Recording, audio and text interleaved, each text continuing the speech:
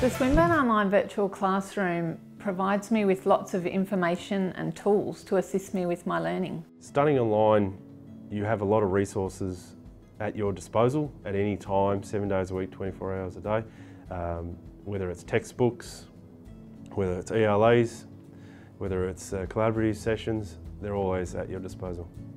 So the virtual classroom is helpful. Um, we have access to the library, discussion boards, ELAs, um, and everything that I need to give me the access to, you know, finish my assessments on time without having to leave my home.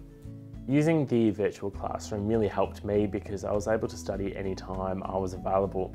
Uh, when you're on campus, you have to attend lectures and tutorials that are at set times, uh, but when you're online and you're able to engage in that classroom 24 hours a day, seven days a week. The, the content is definitely engaging. I mean, from, from weeks one to, to 12, as, as you move on and you get the activities, you, you learn more, it becomes more engaging until you, you finally do your exam and you know, you, you've learned so much.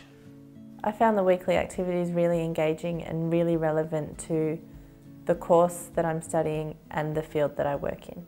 Yes, I found the content engaging, the weekly activities um, are, are, very stimulating and the weekly learning materials um, are stimulating as well. The learning materials are very interesting. They're relative to what we're doing.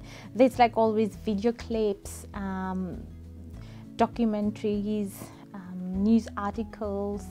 So it's really helpful. We, we then broaden our knowledge of that week's reading material. The content from the, from the course is very interactive. Um, a lot of the ELAs often um, set activities for the week and ask students to post answers to the activities on the discussion board um, and it offers a great um, opportunity for students to interact and um, respond to each other's um, answers.